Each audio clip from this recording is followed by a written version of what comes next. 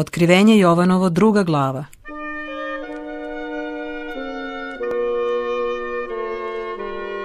Pismo crkvi u Efezu. Anđelu crkve u Efesu napiši. Ovo govori onaj što drži sedam zvezda u svojoj desnici, što hodi sred sedam zlatnih svećnjaka. Znam tvoja dela i tvoj trud i tvoju strpljivost i da ne možeš da snošiš zle ljude i iskušao si one koji govore da su apostoli, a nisu, i našao si da su lažljivci, i imaš strpljivosti, i podneo si za moje ime, i nisi sustao. Ali imam nešto protiv tebe, što si ostavio svoju prvu ljubav. Sećaj se dakle, odakle si pao, i pokaj se i čini prva svoja dela, inače ću ti doći i ukloniti tvoj svećnjak s njegovog mesta, ako se ne pokaješ.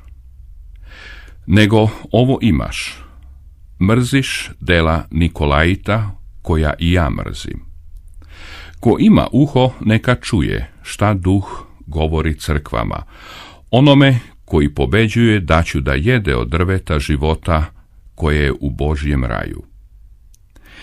I anđelu crkve u smirni napiši, ovo govori prvi i posljednji, koji bi mrtav i ožive. Znam tvoju nevolju i tvoje siromaštvo, ali ti si bogat. Znam i hulu onih koji govore da su judeji, a nisu, nego satanska sinagoga. Ne boj se ničega što ćeš imati da trpiš. Vidi, đavo će neke od vas baciti u tamnicu, da budete podvrgnuti iskušavanju i imat ćete nevolju deset dana. Budi veran do smrti, pa ću ti dati venac života. Ko ima uho, neka čuje šta duh govori crkvama. Onome koji pobeđuju, tome druga smrt neće nauditi.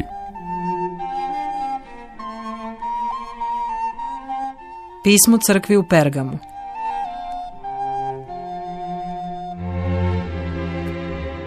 I anđelu crkve u Pergamu napiši, ovo govori onaj koji ima oštri mač sa dve oštrice. Znam gde obitavaš, gde je satanin presto. I držiš moje ime i nisi se odrekao vere u mene, ni u dane kada je moj verni svedok Antipa ubijen kod vas, gde satana obitava. Ali imam nešto malo protiv tebe. Imaš onde takvih ljudi drže nauku valama, koji je poučavao Valaka da baci sablazni pred sinove Izraeljeve, da jedu meso žrtvovano idolima i da se odaju bludu. Tako i ti imaš one koji na isti način drže nauku Nikolajita. Pokaj se, dakle, inače ću ti ubrzo doći i zarati ću sa njima mačem svojih usta. Ko ima uho, neka čuje šta duh govori crkvama. Onome koji pobeđuje, daću od skrivene mane, daću mu i beo kamen i na kamenu napisano novo ime, koje ne zna niko sem onoga koji ga prima. Pismo crkvi u Tijatiri.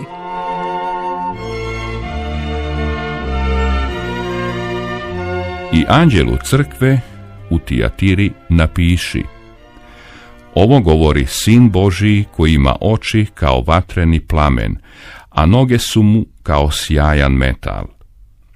Znam tvoja dela i tvoju ljubav i veru i službu i tvoju strpljivost i tvoja posljednja dela kojih imaš više nego onih prvih.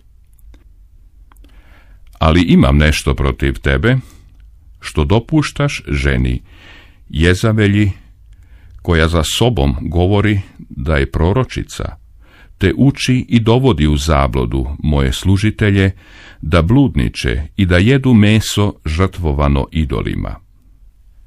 I dadoh joj vremena da se pokaje, ali ona neće da se pokaje za svoje bludničenje.